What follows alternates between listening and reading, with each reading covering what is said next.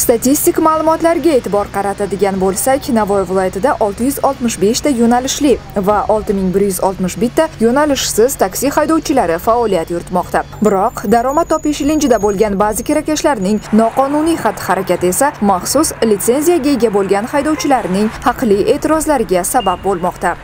Yo'nalishli va yo'nalishsiz taksi haydovchilari ishtirokida sodir etilayotgan yo'l transport hodisalarining oldini olish harakat xavfsizligini ta'minlash bu boradagi profilaktik ishlarni yanada kuchaytirish maqsadida navoiy viloyati ichki ishlar boshqarmasi yo'l harakati xavfsizligi boshqarmasi hamda transport boshqarmasi hamkorligida noqonuniy yo'lovchi tashish faoliyati bilan shug'ullanuvchi shaxslarni aniqlashni ko'zda tutgan holda ypx maskanlari va blok postlarda hamkorlikdagi chora tadbirlar amalga oshirildi.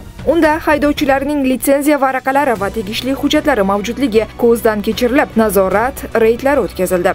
Reyd o'tkazilgan kuni 13 nafar tadbir davomida esa 72 nafar noqonuniy yo'lovchi va xalqaro yuk tashish faoliyati bilan shug'ullangan shaxslarga nisbatan tegishli choralar ko'rildi. Shu bilan birga harakat ishtirokchilariga karantin qoidalariga rioya qilishlari borasida tushuntirish ishlari olib borilib jami 500 donaga yaqin tibbiyot niqoblari tarqatildi. Ma'lumot o'rnida aytib o'tish joizki o'tgan 2021 yilda 1812 ta holatda noqonuniy taksi faoliyati bilan shug'ullanuvchi fuqarolar aniqlanib ularga nisbatan tegishli tartibda choralar ko'rilgan.